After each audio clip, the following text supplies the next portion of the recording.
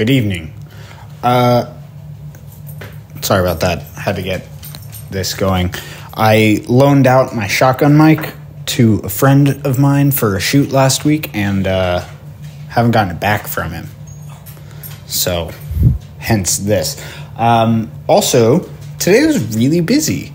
This week is shaping up to be like a stupid busy week. I think I'm shooting four days in a row, each day on a different project, which is not ideal.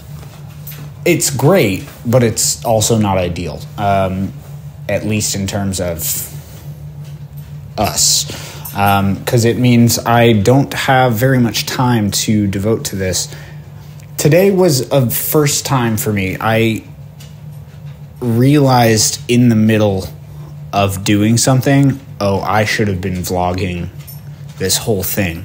Um, basically, today I was working. I work for a marketing agency sometimes, uh, and I was working to like prep a shoot that I have on Friday. I was doing a tech scout, and I realized in hindsight, I very much could have been vlogging that to make a really good video about that, and I didn't.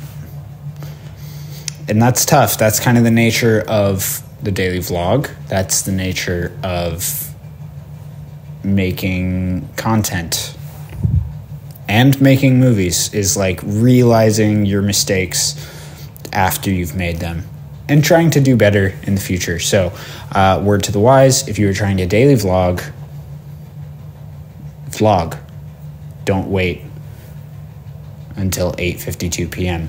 Uh, all that being said, as far as the movie goes, not a lot uh, went on for it today. I have been reading a book which is really, really good, and I very much would like to do a video talking about the stuff that I'm learning and the processes that I'm coming up with as I get through this book but it requires some serious dedication that I don't want to skimp out on. So here we are.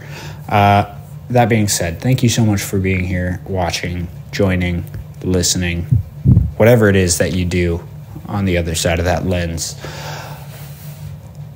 I appreciate you. And I will see you guys tomorrow. Peace.